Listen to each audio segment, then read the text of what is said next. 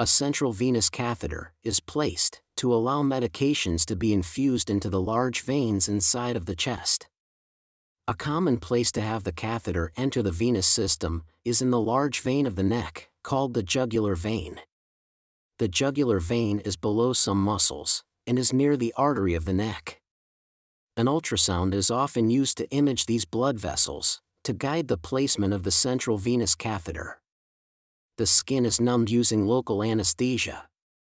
Then a needle is placed into the lumen of the vein, using the ultrasound to guide it. Once the needle tip is in the vein, a wire is placed into the vein and down into the chest. Often the skin needs a small incision made to allow the catheter to fit.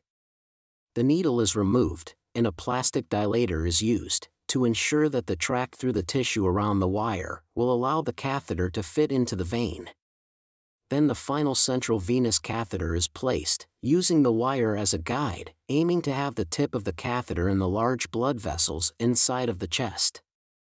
The wire is removed, leaving the catheter in position.